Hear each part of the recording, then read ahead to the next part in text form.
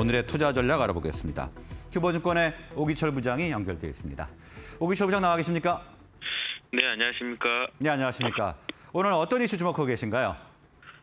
네, 오늘 이슈 보시면은 뭐 앞서 말씀하신 대로 아, 일단은 그 경기 침체에 대한 우려감 등이 시장에서 좀 가장 많이 좀 반영이 됐던 하루였던 것 같습니다.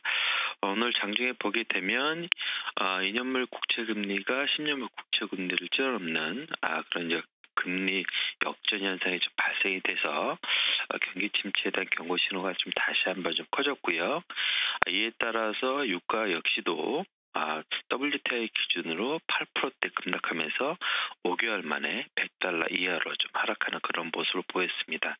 아, 이러한 흐름들은 일단 뭐 다 경기 침체에 대한 우려감 등을 지금 반영하고 있기 때문에 아, 시장에서 상당히 좀 어려움을 좀 겪을 것으로 예상이 됩니다. 다만 이제 뭐 기술주들은 반등이 나오긴 했지만 그럼에도 불구하고 우리가 경기 침체에 대해서 좀 대비를 안 할 수가 없을 것 같습니다. 그렇기 때문에 어, 경기 침체에 좀 강했던 어, 최근의 흐름이 좋은 아, 제약바이오주에서 오늘 한번 좀 살펴보려고 합니다.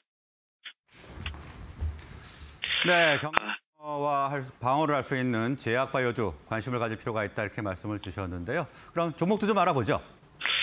일단은 지금 제약바이오주 스타트업 일단 잠깐 말씀을 먼저 드리면요. 아, 뭐 제약주들은 약품 수요가 이제 경기와는 무관하죠. 뭐 아프다고 그래서 이제 경기가 좀 안 좋다고 해서 약을 사용하지 않거나 그렇지 않기 때문에 일단 경기가 무관하기 때문에 아, 일정 정도의 아, 매출이 계속해서 발생할 수밖에 없고요. 아, 또한 인플레이션에 좀 강한 측면이 있습니다.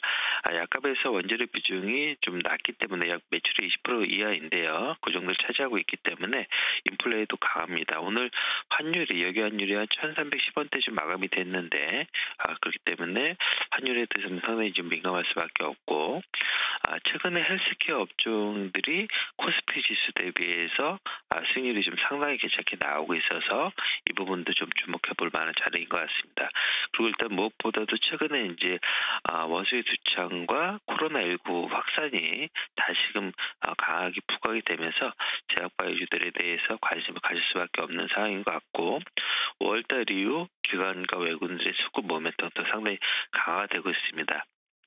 아, 이런 아, 그, 가운데 좀 주목해 봐야 할 만한 회사는 일단 셀트리온을 일단 뽑아왔는데요. 어, 셀트리온 같은 경우는 2분기 이익률이 좀 회복세를 나타내고 있고 전반적으로 하반기에도 아, 실적이 기대가 되는 아, 그런 종목입니다.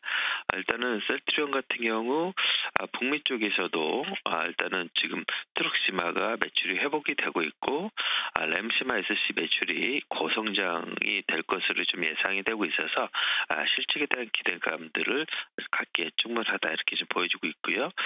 아, 그래서 일단은 뭐 차트를 살펴보게 되면 아, 최근에 코스피 흐름과는 정반대 흐름으로 일단 5월달 바닥을 아, 다지고 나서 6월달, 7월달 초에 들어오면서 계속해서 우상향하는 흐름을 보여주고 있습니다.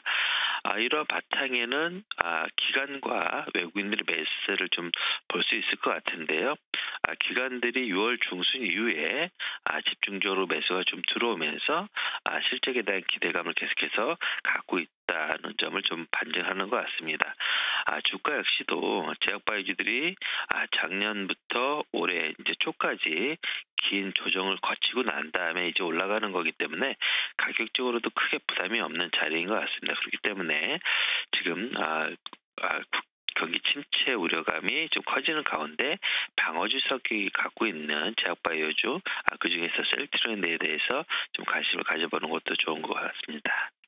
네, 제약 바이오주 중에서 셀트리온 관심 종목으로 알아봤습니다. 오늘 말씀 고맙습니다. 네, 감사합니다.